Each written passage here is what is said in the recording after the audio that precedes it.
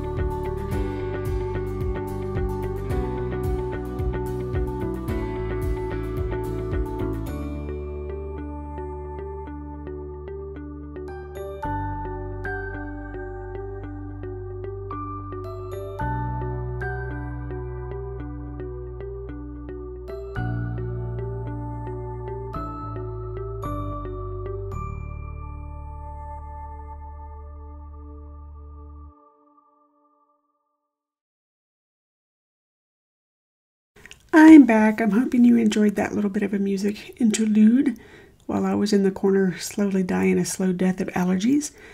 I just wanted to take a moment to say thank you so much for joining me. I know you have a choice of channels and I know you have a very limited time to enjoy your free time. And I am just very thankful that you choose to spend just a little bit of your time with me. This is a channel that I you know I don't make any money. I just do this for fun and I just want to bring some enjoyment to others. So I hope you get just a little bit of enjoyment out of watching me do my crafts and hobbies and planning and diamond painting and scrapbooking. Until next time, I hope you have a wonderful day. Thank you. Bye.